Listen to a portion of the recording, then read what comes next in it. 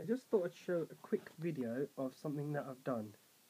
I know a lot of people talk about how to use the Raspberry Pi to actually function with useful electronics.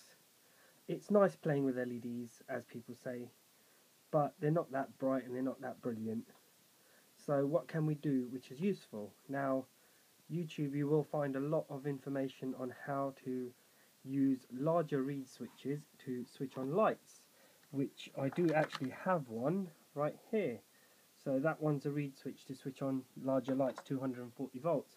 But then I thought hold on a minute how can I go about doing this so I don't have to use high voltages?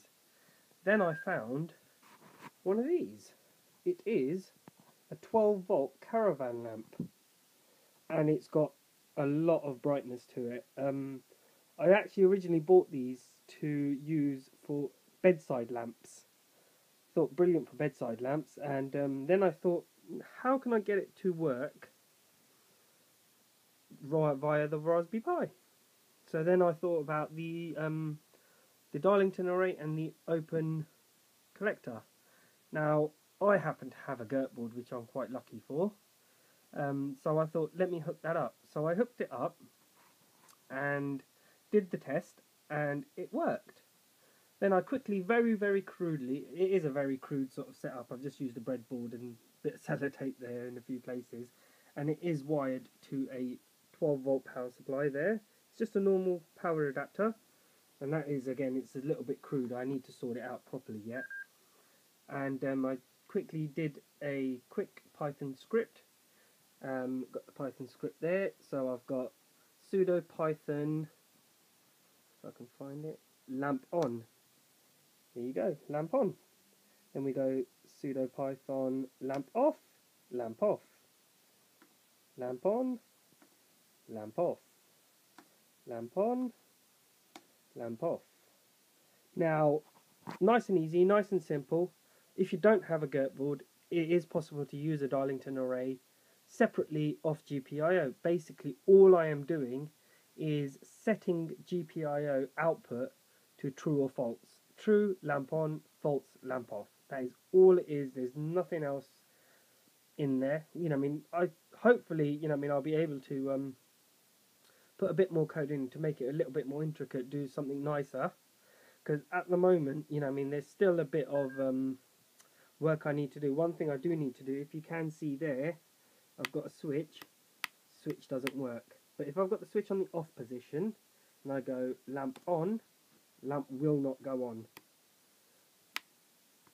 So I don't, and I don't want GPIO to be on, on at all times. It defeats the purpose of home automation.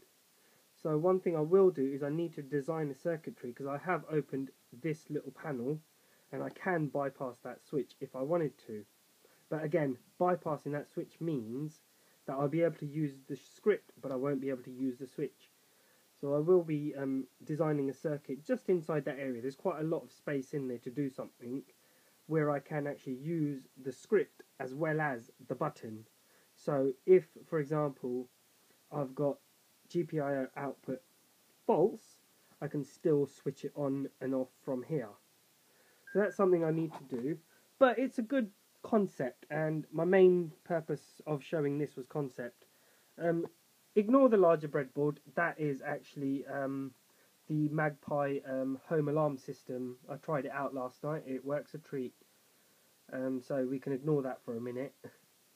But it's just here. See, again, you know, 240 volts on a breadboard, not recommended, not something you should be doing. But 12 volts, perfectly fine. And very safe to touch as well.